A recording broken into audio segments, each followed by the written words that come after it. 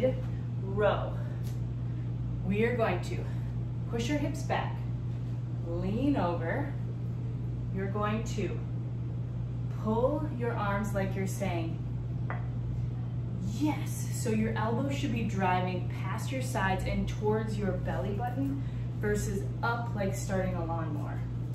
So you're leaning over, your elbows aim past. So you should be feeling it in your lats. You're going to roll, squeeze, pull. If you need to put a hand here to feel that this is the muscle you're using, then definitely do that.